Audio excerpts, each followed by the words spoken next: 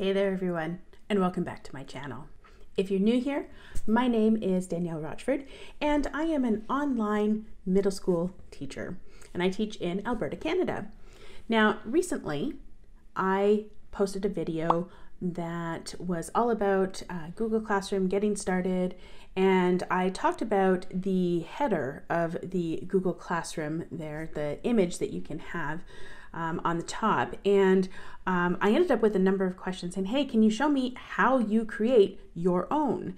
Uh, so for all of you that want to know how to create your own Google Classroom header, I'm going to show you today.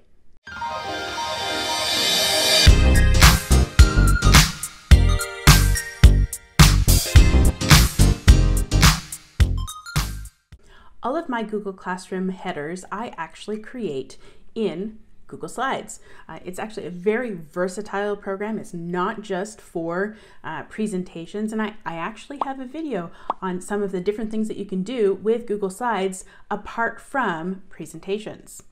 Now, one of those things is creating headers for your Google Classroom. And so we're going to pop over into the computer here and we're going to take a look at how exactly we do that. Um, we'll start off with a brand new Google Slide presentation. Um, and one of the easiest ways to do that, make sure that you're logged into your account and then type in slides.new. And that will bring up a brand new um, Google Slide presentation here for you. Um, I'm going to start by naming it Google Classroom header. Okay. And then the next thing that I'm going to do, I'm going to take these out here because I'm not going to be using them. Um, but what I need to do is I need to make sure that I have the proper sizing um, for the um, for the header. Okay, and so in order to change the default size, we go to File, Page Setup, and we're going to click here where it says Widescreen, and we're going to go to Custom. Okay, now um, the units that I'm going to change them to here is pixels. Okay, and so the pixels that we change it to is 1920 by 484. Then we hit apply. And there we have the size that we need um, for our Google Classroom header. Okay, so today I'm just going to demonstrate a, a, quick, nice and easy.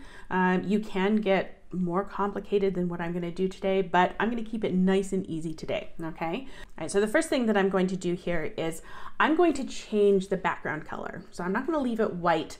Um, I want to change it to um, a color that's more in keeping with Google Classroom. So in, in my first video in my Google Classroom series, um, we made an example class and the example class is all about Google Classroom. So why don't we go with um, a Google Classroom theme? Um, so what I'm going to do is I am going to, I'm going to make the background color here a, um, a kind of Google Classroom green type of color. So uh, what I did was I right clicked with my mouse um, on the background there and then um, I can choose change background and I'm going to change the color. Okay, now I don't necessarily see the exact green that I want to, so I'm going to go down to custom and I'm going to add a custom color.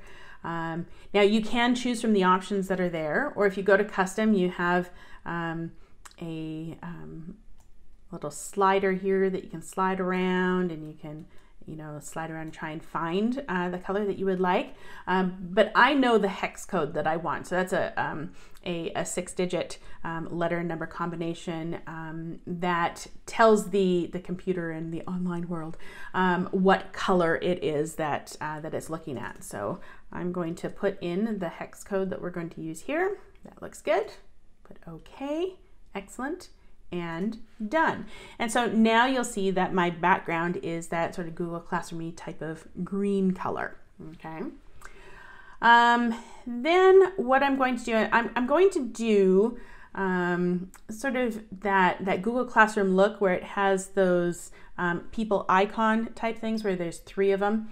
Um, and so we're gonna, it's nice and easy to, to recreate here. Okay, so I'm gonna start off um, with my shape tool And I'm going to choose a circle because I'm going to make uh, the head here of the, uh, the first one. So um, let's see here. I'm going to, because I want it to be a perfect circle, um, I'm going to hold down the shift key while I'm making the circle. So while I'm dragging and dropping, uh, sorry, while I'm dragging out the shape.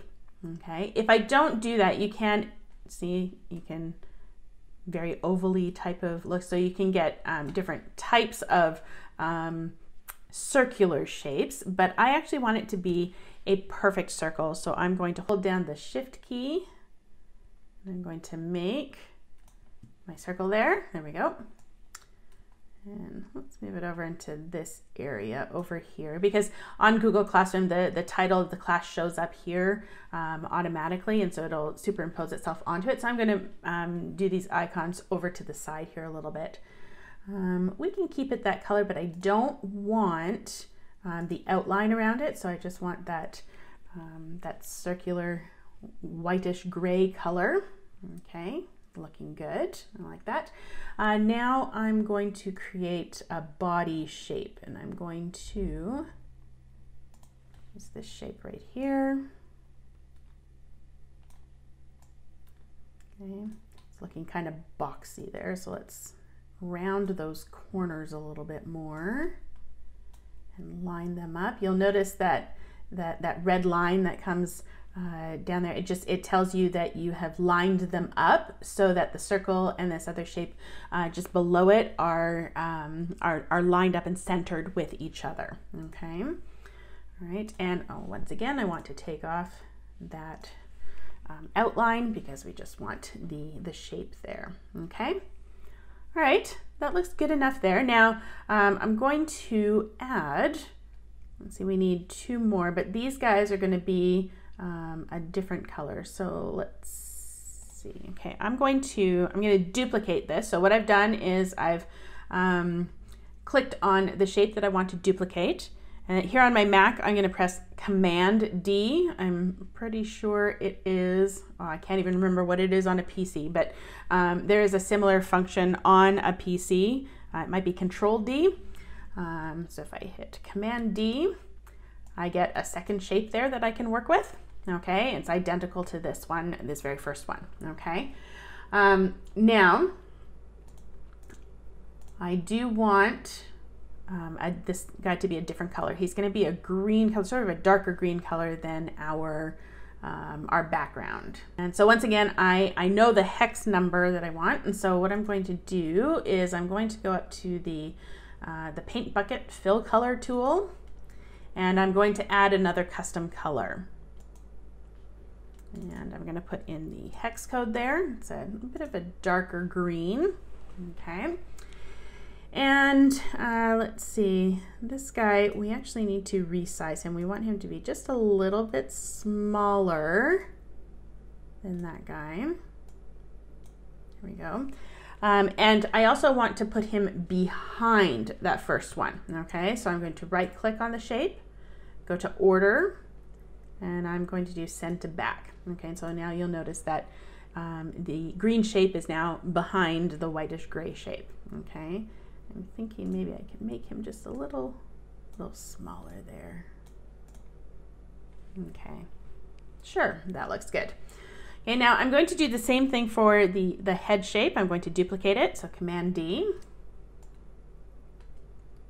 Um, I'm going to reduce the size there a little bit, maybe about there.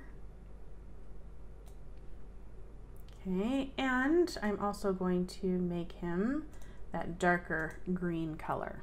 Okay, looking good so far. All right, now I do want one other just on the other side um, of this. So I'm going to click and drag so that um, those two shapes, the two green shapes are, um, are highlighted. And then I'm going to do Command D again. And see, you'll notice that both of them will duplicate there for me. I'm going to move them over here. Um, I'm also going to send these guys to back. Okay. And now let's take a look at um, organizing. So I think I'm going to put his body a little over there. This head, we're gonna maybe move over a little bit more. Yeah, that's looking all right, right? There we go. all right, so nice and simple, right? We'll keep it like that. Um, here, we can now save this as a JPEG file, um, and then we can upload it as our Google Classroom header. Uh, so in order to do that, once we're all done and ready, we'll go to File, Download, and then you'll notice that there's a number of different choices here. Um, JPEG, um, or PNG will work as well. Um, I usually download it as a JPEG file. Um, you click on that and it downloads it to your computer. Okay, and once you have it on your computer, then you can go back to Google Classroom and you can upload it as your own custom header image.